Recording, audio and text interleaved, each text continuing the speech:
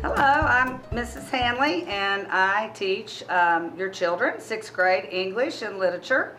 We're having a great year. It's better than I thought it was even going to be. Um, first of all, I sent the syllabus home and most of you have returned it. If for some reason you have not seen it or your child has not given it to you, please read this because this has a lot of information about our sixth grade year. Um, we are now doing in literature, we're doing the background information for Schooled by Gordon Korman.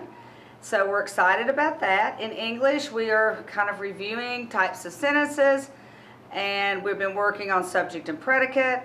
And today we did compound um, predicates and um, subjects. So we'll keep moving. Your child should have a journal where they learn everything in there.